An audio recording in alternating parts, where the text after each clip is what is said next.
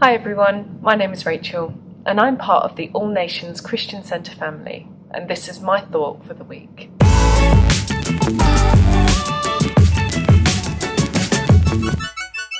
So, I've been thinking about root growth, and not in the sense that I need to book a hairdresser's appointment now that lockdown is easing so I can get my hair sorted out.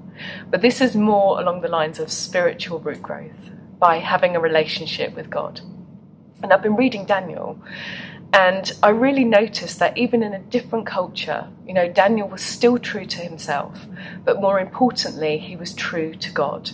And it really got me thinking about, you know, as I venture out into the world now, you know, as, as lockdown is eased, am I going to conform to this world, to the way of, of, of the world's way of thinking, or will I remain rooted and grounded in my identity in Christ?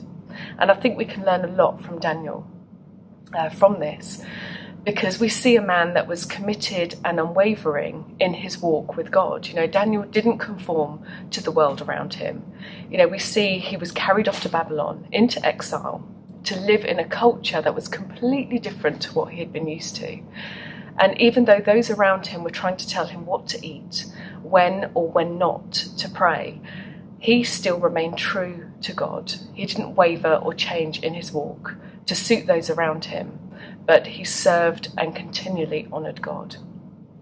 But it did make me think, you know, how how did Daniel do this? And I think Daniel 6:10 really helps to understand how he remained so committed and unwavering in such a difficult um, and different culture and circumstances. And in Daniel 6:10 it says this, when Daniel learned that the order had been signed, so there'd just been a, a, an order sent out to prevent people from praying to, to, to any god for 30 days.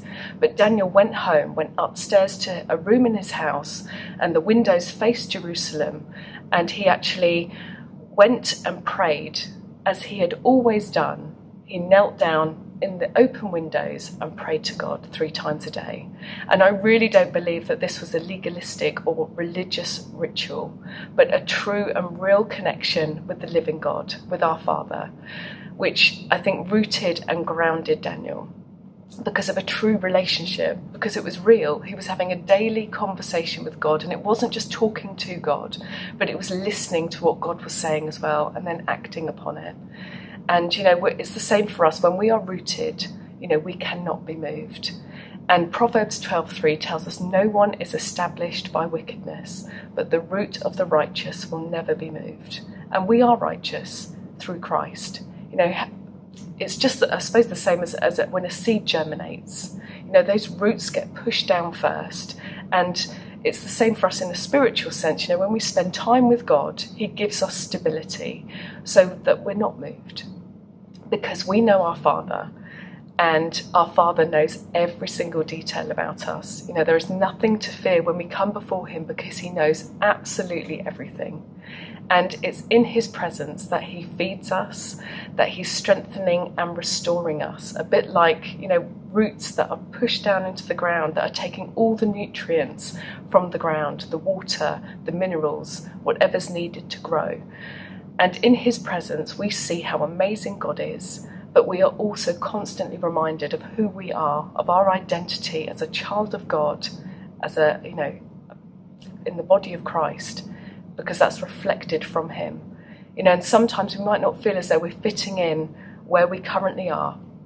You know, maybe we feel like we're swimming against the tide, but there is a reason for that, and that's because God has set us apart to be different. We are a new creation, and as lockdown is eased, you know, we will be the salt and the light in this world if we remain rooted in Christ. And I think what amazes me more um, when, when, when reading Daniel is, is not that God saved Daniel from the den of lions, as wonderful as that is, but it was actually that the impact he had on somebody that didn't believe in God because of his actions, because he was unwavering and stayed committed to God. And we see King Darius actually giving glory to the God of Daniel and writing to all the nations, all the languages, all the people. And he actually says this I make a decree that in all my royal dominion, people are to tremble and fear before the God of Daniel. For he is the living God enduring forever. His kingdom shall never be destroyed, and his dominion shall be to the end. He delivers and rescues. He works signs and wonders in heaven and on earth. He who saved Daniel from the power of the lions.